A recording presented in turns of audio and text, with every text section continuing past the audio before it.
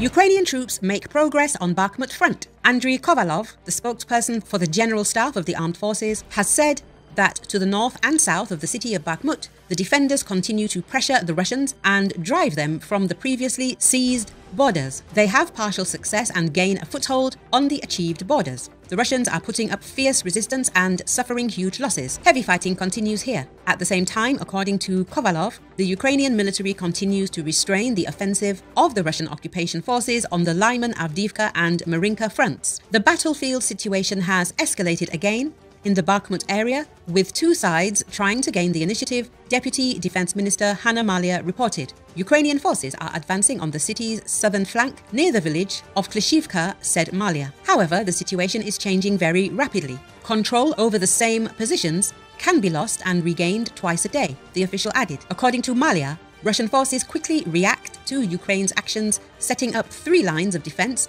in threatening directions. Ukrainian troops started offensive operations in the Bakhmut direction around June the 24th, gradually advancing on the southern and northern flanks. As Maliar said earlier, Bakhmut has developed a system of engineering fortifications and strongholds but it's currently occupied by the Russian army, which complicates the city's liberation. According to the Institute for the Study of War, Ukraine's offensive operations near Bakhmut may pressure Russia into making a difficult decision to redeploy its forces from other Ukrainian territories.